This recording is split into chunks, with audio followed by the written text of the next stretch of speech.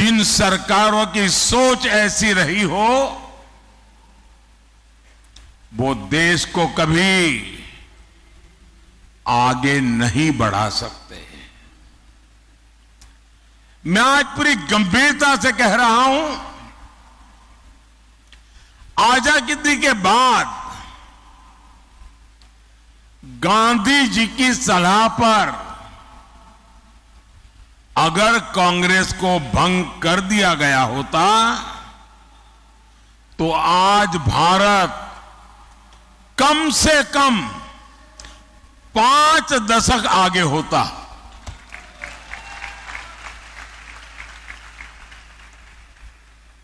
आज़ादी के बाद भारत की सभी व्यवस्थाओं का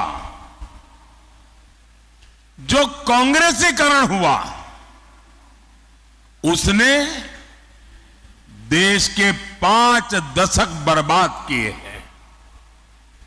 साथियों, देश आज़ाद हुआ तो भारत दुनिया की छठी बड़ी अर्थव्यवस्था था। हम दुनिया में नंबर छह पर थे। और 2014 में जब कांग्रेस गई